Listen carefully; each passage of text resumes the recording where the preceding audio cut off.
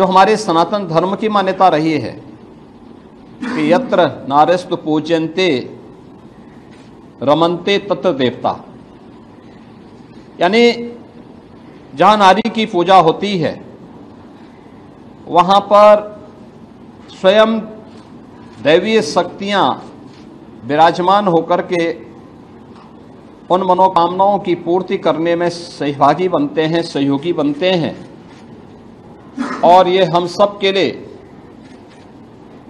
यह एक गौरव का क्षण है जब हम शारदीय नवरात्रि की नवमी तिथि में आठ दिनों के अनुष्ठान के उपरांत आज कुंवारी कन्याओं के पूजन के कार्यक्रम के साथ, यहाँ गोरक्षपीठ के साथ में जुड़ रहे हैं। यहाँ की एक आदि परंपरा है, सैकड़ों की संख्या में बच्चे आए हैं।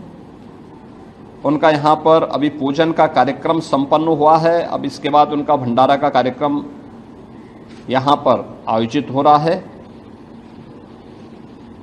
शारदीय नवरात्रि की नौ तिथियों में शक्ति की अधिष्ठात्री देवी की पूजन के उपरांत कल विजयादशमी का पावन पर्व भी है। विजयादशमी प्रभु श्री राम का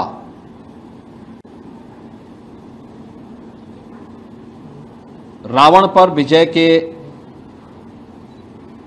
उल्लास का पर्व है। स्वाभाविक रूप से जब शक्ति की साधना होगी तो सिद्धि के रूप में विजय श्री अवश्य प्राप्त होगी। दूसरा जो समाज अपनी आधी आबादी का सम्मान करेगा उसका सशक्तिकरण करेगा। वह समाज स्वयं ही विजय श्री को वर्ण भी करेगा। यह पर्व इस बात की भी प्रेरणा प्रदान कर रहा है। आज के इस अवसर पर जब हम लोग नवरात्रि के नौमी तिथि पर जगतजननी माँ भगवती के इन पावन नौ स्वरूपों के दर्शन और उनके पूजन के अनुष्ठान के साथ जुड़ रहे हैं। मैं पूरे प्रदेश वासियों का आह्वान करूँगा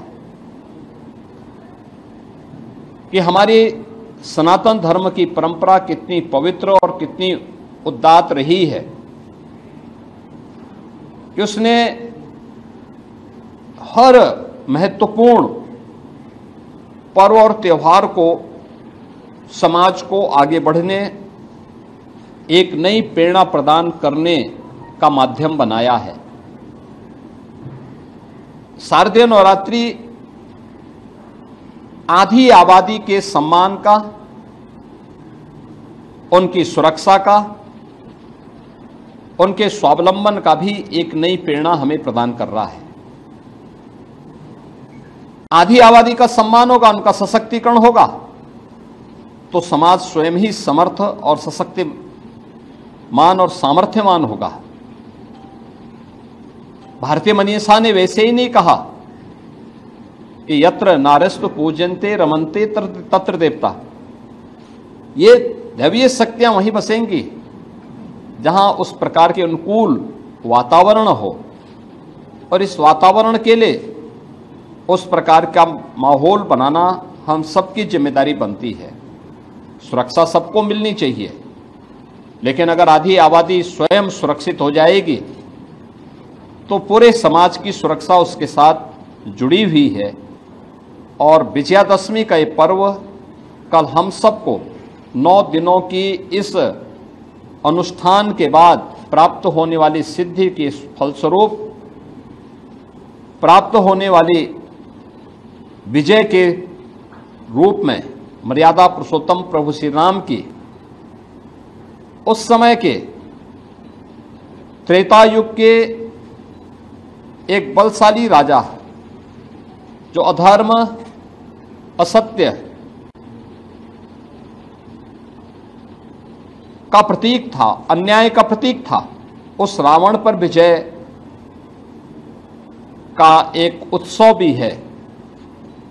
और यही कारण है कि पूरे देश के अंदर कल जहाँ एक और प्रभु श्री राम के प्रति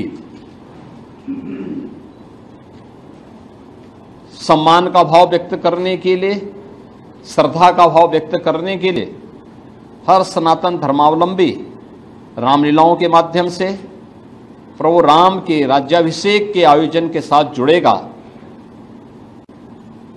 उनका अनुष्ठान के साथ जुड़ेगा, वहीं दूसरी ओर रावण के पुतले भी दहन करने का एक लंबी परंपरा इस अवसर पर हर सनातन धर्मावलंबी की परंपरा में देखने को मिलता है।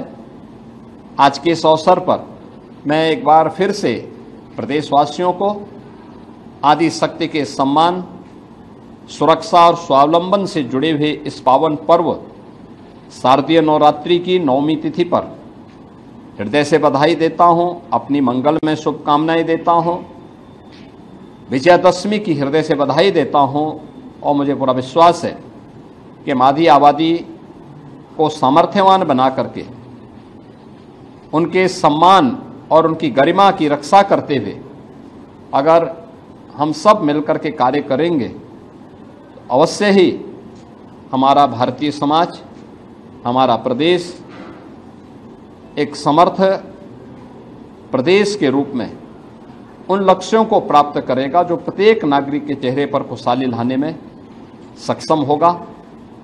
पूरे प्रदेशवासियों को शारदीय नवरात्रि और विजयादशमी की मंगलमय शुभकामनाएँ।